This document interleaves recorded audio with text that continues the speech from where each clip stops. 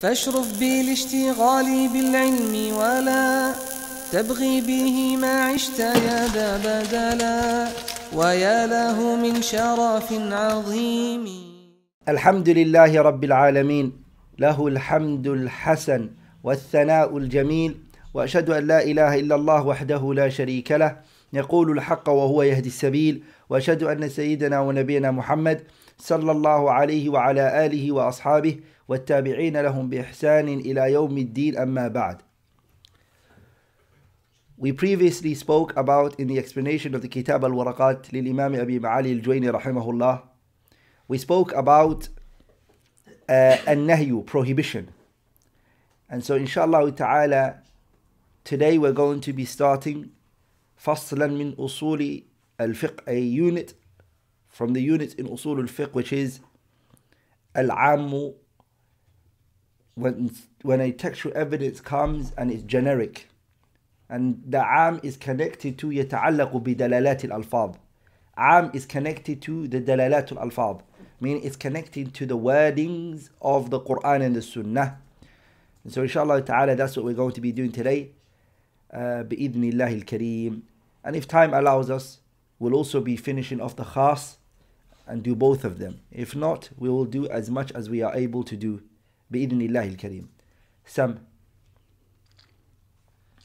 General and specific. Am wa عام Am, general, encompasses two or more things without restriction. It can be expressed in four forms. A singular, a singular noun made definite by an alif and a lam, the definite article. A plural noun made definite by lam. Nouns of indeterminacy, such as who for rational beings, what for non-rational being non-rational things any for both of these where for place when for time what for inquiry and reward and other. Other specific are those that are not general. To make something specific is to distinguish part of a whole. It is either attached and separated attached comprises exception condition and qualification by an attribute. فصل. وأما العام فهو ما عم فهو ما عم شيئين فصاعدا. من قولك عممت زيدا وعمرا بالعطاء وعممت جميع الناس بالعطاء والألفاظه أربعة. الاسم الواحد المعرف بالألف واللام. واسم الجمع المعرف بالألف واللام والأسماء المبهمة كمن في من يعقل وما فيما لا يعقل وأي في الجميع. الأسماء المبهمة كمن يعقل كمن فيما يعقل right? كمن في من يعقل. في من يعقل. وما وما فيما لا يعقل وأي في الجميع. وأين في المكان؟ ومتى في الزمان؟ وما في الاستفهام والجزاء وغيره؟ ولا في النكرات؟ كقولك لا رجل في الدار. والعموم من صفات النطق. فلا تجوز دعوى العموم في غيره. من الفعل وما يجري مجراه. The author rahimahullah, Abi Ma'ali al-Juwayni rahimahullah rahmatan wasi'a, this unit he's talking about is known as al-am, general, the general evidences. And as I said before, يتعلق بدلالات الألفاظ. It connects to دلالات الألفاظ. And the author's definition of am in saying that am is فهو ما عم شيئين فصاعدا what we can say is أشبه بالمأخذ اللغوي. It's as though we can say he is more inclined to the lexical definition than the definition according to the usuliyin, the scholars who deal with usul al-fiqh. It's as though his definition is more closer in terms of definition to the lexical, lexical linguistic definition than it is to the um, ling- uh, the uh, definition of the usuliyin. So the definition that we think should be chosen and should be said is that am is istilahan technically هو اللفظ الموضوع لاستغراق جميع أفراده بلا حصر. It is anything that is placed, any word that is placed to really encompass all of its types without any without any uh, exclusion. It's all included. And then the author, rahimahullah, after defining it, what he did was um, he categorized it into four. He says, وَأَلْفَاظُهُ أَرْبَعَةٌ Its wordings are four. The wordings of what? He means here the wordings as forms. So when he says to you the wordings are four, he means وَالْمُرَادُ بِالْأَلْفَاظ السِّيَغ Its forms. So the siyag of umum, the forms of generalization are these four that which he mentioned. The first one is al-ismu al-wahid al-mu'arrafu bil-lami. My copy says bil-lami. So you, you, you, as you read it, you said bil-alifi wal-lami. And it's stronger to say that the correct definition is al-mu'arrafi bil-lami because this is the madhab and the view that the author takes which is that من يرى أن أداة التعريف هي اللام some of the grammarians and some of the ulama actually believe that the definite of the word the word being definite is not the alif and the lam it's only the lam and that the alif is alif al-wasli and that the lam is what makes the word definite and this is the madhab الذي يميل إليه it's the opinion that the author leans towards. And the author, rahimahullah, he um, he says al-ismul wahid al-ismul al-mu'arraf bil-lami. And as I said that this is the madhab in which the author sees that what makes the word definite is the lam, not the alif and the lam. Because some of the scholars they see that the alif and lam is what makes the word definite, and others see it as as though it's salam. And inshallah ta'ala in our explanation of qatrun nada wa ballu sada there would be there in there there should be a enough explanation there inshallah ta'ala. The alif and lam that shows generalization my beloved brothers and sisters is the alif and lam that is not lil ahdiyah. Because some of the times alif and lam is used as lil ahd. Like for example, me and you meet each other and I say to you, al waladu, the kid. Now this al ahdiya means that the kid that you and I yesterday met when we were going to, for example, Brixton. The uh, the kid that we met or the boy the, the boy that we met. So when I say al waladu, this alif alam is ahdiya. It's not istighraq. It's actually something that brings the memory. It's, it's, it's, it's the boy that comes to your mind first. That's ahdiya.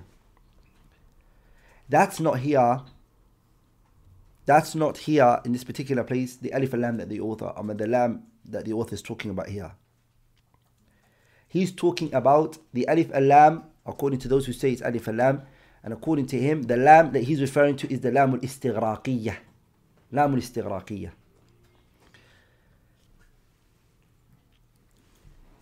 Um, lam al-istighraqiyah actually means that the lam that encompasses the, it's, it's the lam of general, general, generalization. It's the lam of generalization. So, for example, when we say Alhamdulillahi Rabbil Alameen, that lam in Alhamdu is istighraqiyya. It means all of hamd is for Allah subhanahu wa ta'ala.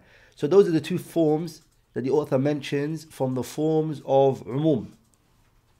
The third one, which is Al Asma al Mubhama.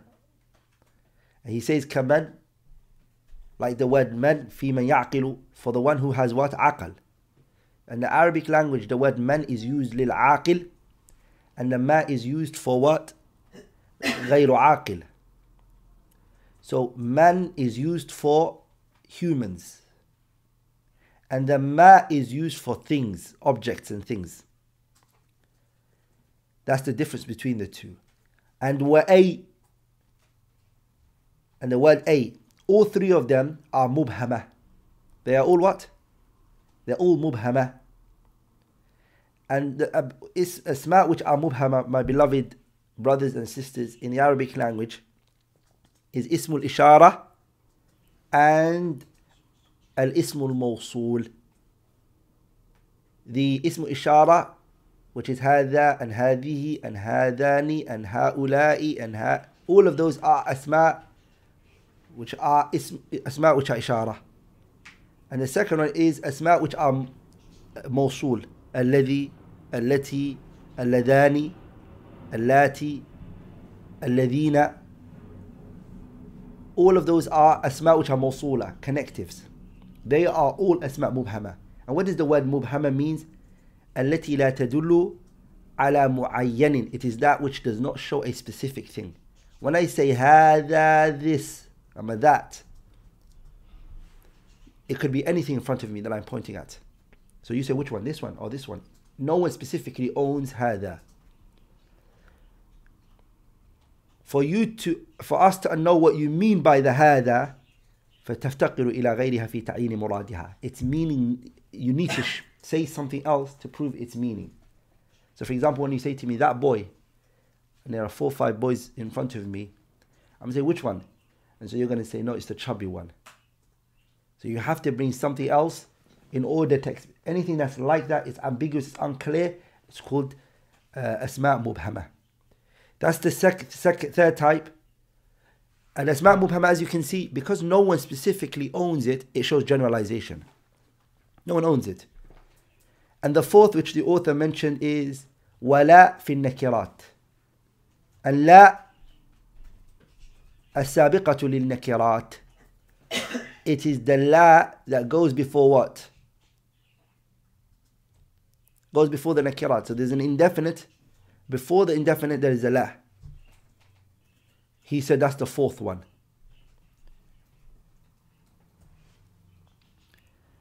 then the author rahimahullah he mentions something which is he says he says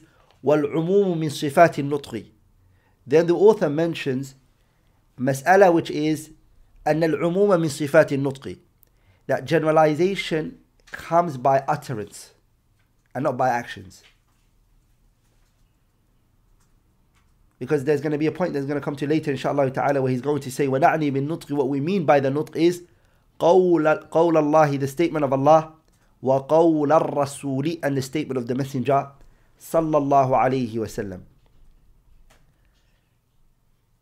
the author doesn't allow that idea and that belief and that concept which says that generalization can occur from actions and he says ولا يجوز دعوى العموم في غيره and it is not correct to claim generalization in other than utterance من الفعل such as actions you can't use actions as generalization وما يجري مجراه and anything that takes its place anything that takes the place of action none of them can be considered general.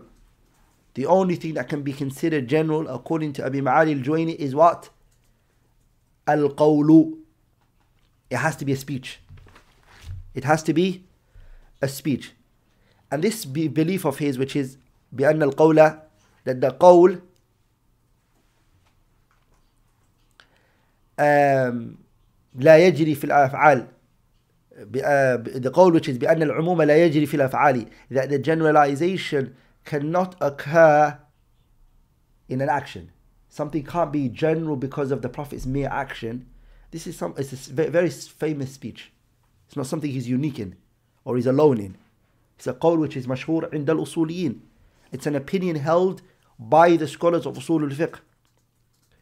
But the scholars of, and I always say this, the محققين the scholars of tahqiq in this particular field who look at the views and prove which of the views are the strongest, they distinguish between the actions of the messenger. They don't just leave it the way Abi Ma'ali al-Juwayni did. Because Abi Ma'ali al-Juwayni rahimahullah, what did he say? ولا تجوز دعوى العموم في غيره من الفعل and his alif lam min al-fi'liya is istighraqiyya. He means all actions. You none of them are generalization, right? And that is not what the scholars of tahqiq have taken. The scholars of muhaqqiqeen of this particular field, they said that the actions is not all of it. So what did they do? التفريق بين الفعل. They divide between the actions. So the first one they said is called الفعل المثبت. الفعل المثبت. which is called the affirm affirmative action. The affirmative action. The affirmative action is that which has been found in Sahihain, Bukhari and Muslim. And then Nabi sallallahu alayhi wasallam, that the Prophet sallallahu when he ent- came to Mecca, when the Prophet sallallahu entered Mecca after the conquest, and the Prophet entered it, صلى فيها ركعتين, he prayed two rak'ah, two unit of prayer in the Kaaba. Now, when we say that the Prophet prayed two rak'ah, what are we affirming? We're affirming an action for the Prophet. This is called an affirmative action. صلى فيها ركعتين. The Prophet prayed two rak'ah there. Are you with me, brothers? Now that we said that the Prophet ﷺ prayed two rak'ah in it, are you there, brothers? This one doesn't show generalization, which is the muthbat. Because if we say that the muthbat shows generalization, here what we would have to say is that that the Prophet ﷺ, he prayed fard and he prayed nafl. He prayed an obligatory prayer or he play, prayed a voluntary prayer. And that's impossible.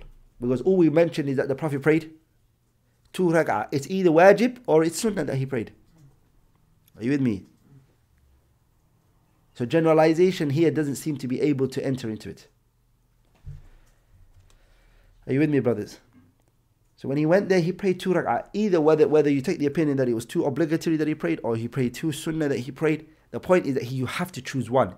And if you do choose one, you leave the realm of it being general. The second one, on the other hand, it becomes al-fi'lu al-manfiyu. Al-fi'lu al-manfiyu means that the action is the opposite, is the negative action Is the negative action, which is that you don't affirm something for him, but rather you negate something from him. For example, you say, and the Nabi sallallahu alayhi wa sallam, the famous hadith, لم يؤذن للعيدين the hadith of uh, Jabir ibn Samurah where he said I prayed with the Prophet sallallahu alayhi wa sallam Salatul Eid and he never sallallahu alayhi wa sallam ever done adhan what did he negate from the Prophet he negated an action from the Prophet what did he negate from the Prophet he negated an action from the Messenger alayhi salatu wasalam and he mentions that he did not do adhan, nor did he do iqamah. So my question is that is that negation? Is it a negative act? Is it negating an action from him, or is it affirming an action for him? It's negating something from him. So here is is that when the Prophet wasalam did not do adhan or iqamah, are you there, brothers? Then the person is allowed to say to the people, as-salatu jami'ah. He's allowed to say that. He's also allowed to say, as-salatu ibadallah, prayer, O slaves of Allah. You're allowed to do anything that's not a adhan.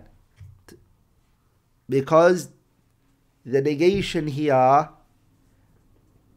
allows generalization of the opposite of what's negated.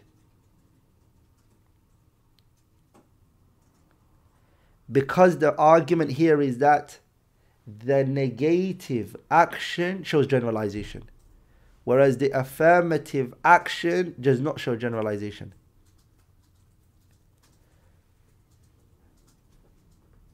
And that's the strongest what? That is the strongest view that stands out there. And this is the view that was strengthened and pushed by Muhammad Amin al-Shanqiti rahimahullah ta'ala, which is this qaida is what you use to nullify, is to destroy the innovation that people newly introduce. Because if you say that the, the action that's negated doesn't show generalization, then it opens the door of innovation. It opens the doors of innovation.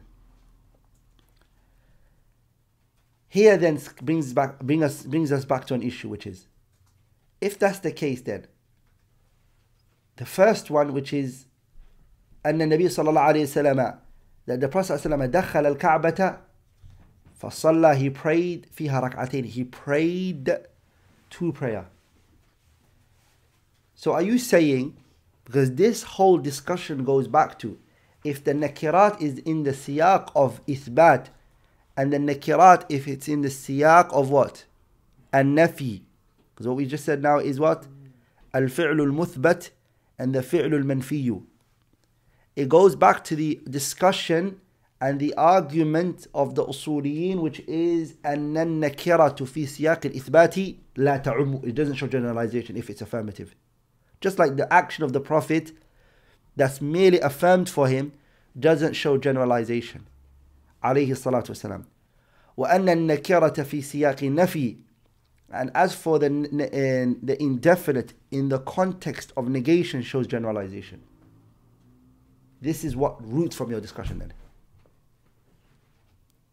and this is the view that was taken by the muhaqqiqeen of the usuliyin كابن القيم رحمه الله محمد الأمين الشنقيطي رحمه الله محمد محمد بن إسماعيل الصنعاني رحمه الله and others that if the nakira the indefinite is in the context of affirmation it doesn't show generalization but if it's in the context the indefinite is in the context of a negation it shows generalization this is where the discussion lies back to. And my beloved brothers and sisters, usul al-fiqh as you can see right now is a matter when you're looking at it and you're strengthening an opinion, it's important that you understand where this discussion roots from. Or else the person فإنه لا يطلع he will never be able to really see and enjoy the secrets of usul al-fiqh. The secrets of usul al-fiqh. And he will never be able to what? comprehend the ahkam al-shar'iyyah, the jurisprudent rulings in its correct manner. Now,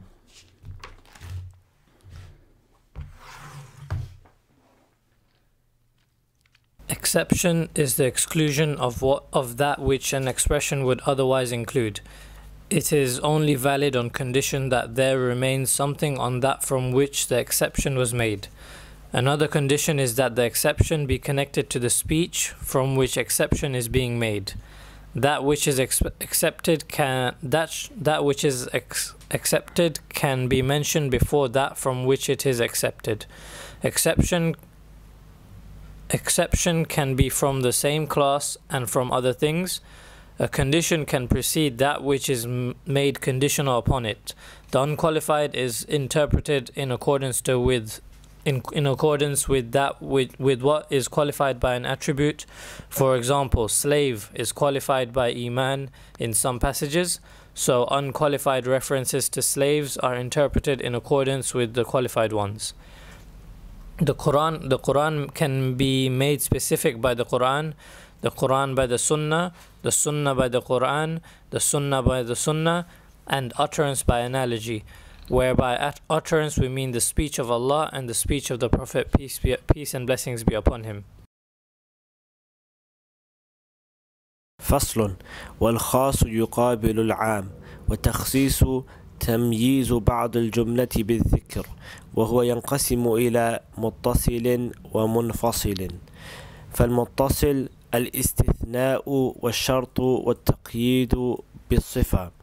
والاستثناء إخراج ما لولاه لدخل في الكلام وإنما يصح بشرط أن يبقى من المستثنى منه شيء ومن شرطه أن يكون متصلا بالكلام ويجوز تقديم المستثنى على المستثنى منه ويجوز الاستثناء من الجنس ومن غيره والشرط يجوز أن يتقدم على المشروط والمقيد بالصفة يحمل عليه المطلق كالرق كالرقبة قيدت بالإيمان في بعض المواضع وأطلقت في بعض المواضع فيحمل المطلق على المقيد والمنفصل وهو تخصيص أحد الدليلين بالآخر ويجوز تخصيص الكتاب بالكتاب والكتاب بالسنة والسنة بالكتاب والسنة بالسنة ونطق بالقياس ونعني ونعني بالنطق قول الله تعالى وقول, وقول الرسول صلى الله عليه وسلم The author rahimahullah, Al-Imam Abi Ma'ali al-Juwayni rahimahullah, here he places a unit from the units of Usul al-Fiqh, and that is al-Khas, which is specific. And he followed it up with, after speaking about generalization, he speaks about specification. And generalization, it is, as we said, from the dalalatul alfad. And the specification is also from the dalalatul alfad. The author says, rahimahullah, وَالْخَاصُ يُقَابِلُ الْعَامَ The khas, which is the specific, is the opposite of general. So after you've come to know what generalization means, the opposite of it is what specification is. And what he means by it is the opposite of it. He means إشارة إلى تعلقه به على وجه المقابلة في الدلالة والأحكام. It's opposite in it in terms of what it shows and also in terms of its rulings. But since we said that the definition he gave in Am was deficient, so we wouldn't find this definition of al khas that the author is saying to be correct to said to be said that it's the opposite of al am, right? So we'd have to define what khas means. And our definition of al khas would actually be the opposite of the definition we gave regarding what? The am. فإن الخاص اصطلاحا هو اللفظ الموضوع لدلالة على فرد أو أكثر مع حصر The khas is in its technical definition it is the wording that which, which is placed is the wording that is placed لدلالة على فرد أو أكثر مع حصر it shows a specific or it shows a particular thing or even more, but it has a restriction on it. It's restricted. It's, it's not unrestricted. But the general generalization is unrestricted. It's too is general. Then the author tells us the ruling that is connected to takhsis. He says تمييز he says تمييز بعض الجملة This is the ruling of it. الحكم المترتب the ruling that comes out of تخصيص is that it distinguishes some of the things that are in it he means إخراج بعض ألفاظ العام some of the wordings of generalization is taken out because as we said the khas is لفظ دال على مقصود معين right that the khas indicates and it shows some a particular thing that we have in front of us then the author rahimahullah he divided the تخصيصات أما the مخصصات إلى قسمين اثنين he divided them into two he says وهو ينقسم إلى متصل ومنفصل he said it divides into two and the first one is المخصصات المتصلة which is the connective specification and the th- second one is المخصصات المنفصلة the detached connectives. Sorry, the, the, the detached specification. What does he mean by the first one, which is al-mukhassisat al-muttasila? The mukhassisat al-muttasila is التي تستقل بنفسها. It's the one that can stand independently. As for the mukhassisat, which is munfasila, is التي تستقل بنفسها التي تستقل بنفسها it is the one that is independent so the متصلة is لا تستقل بنفسها it can't stand independently the second one is that it can stand independently then the author rahimahullah he mentioned three from the مخصصات المتصلة he mentioned he mentioned the author mentioned three from the al-mukhassisat al-muttasila which is what? The connective specification. He mentioned three of them. The first one is al-istithna exception. The second one is ash-shartu which is condition. And the third one which is as-sifa, which is characteristics.